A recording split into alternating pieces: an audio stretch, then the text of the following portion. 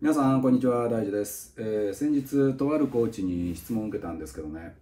えーまあ自分はプロのコーチやっててでもっともっとねクライアントさんにそのコーチングの価値を感じてもらいたいからでどうやったらねそれができるようになるのか教えてもらいたいって言われたんですよね。で、まあ、なんだかちょっとよく分かんなかったのでで質問したんですね。OK とあのなんだろうプロのコーチとして価値を感じてもらうって例えばどんなことなんですかって言ったらねえーそのコーチ曰くいやなんかやっぱりうわそっかこんなやり方があるんだっていうねなんかその目標達成のためのね方法に一緒に気がつけたりとか、うん、あとは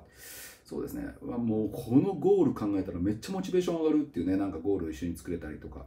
他にはいやそんな感じですと。なるほどねと。それね確かにいいかもねと。すごいモチベーション上がるゴール作れてでそのためのうわーっていうようなやり方見つけられた。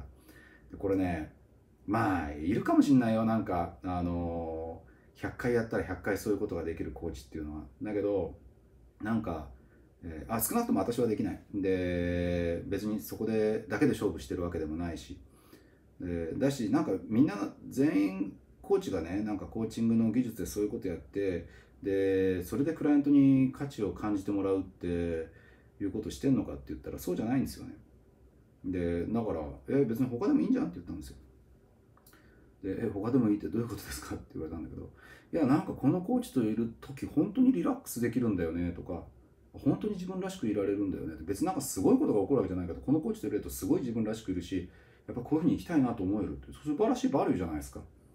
ね。私なんかこのコーチといると、すごいなんかこのコーチのそのライフスタイルとかね、それからあり方とかっていうのは憧れで、やっぱりなんかすごい自分刺激を受けると、こういうふうになりたいと思えると、素晴らしいコーチじゃないですか。なんかこのコーチね、まあコーチングも素晴らしいけど、なんか、えーがしてくれる話とかね、教えてくれることとかね、なんか進めてくれるものとかね、本当に素晴らしくて、なんかそういうのに触れると自分が変わっていける気がする。素晴らしいコーチじゃないですか。ね、このコーチは、なんかとにかく自分のこと一生懸命一生懸命あの話聞いてくれて応援してくれて、もう心の底から自分のことをね、こんなに親だってね、友達だってここまで自分のことをなんか考えて応援してくれるか。ないもんね。ってやっぱこの人と出会ってよかった。素晴らしいコーチじゃないですか。ね。あのー、本当よ。で私が知ってるねその、えーまあ、トップレベルの例えばアスリートのねコーチみたいな人たちもそんなに特殊なことやってない人いっぱいいる。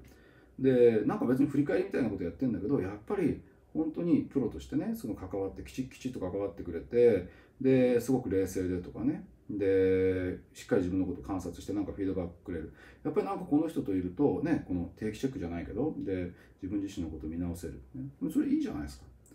でもしくはねあの全然この自分と価値観とか全然自分とこのカルチャーが違うコーチでやっぱりなんかこの人と関わってるとすごい新鮮だよねとかなんか違う感覚っていうのを味わえるよね。これも別にいいコーチなんですよその人にとっては。でだからあの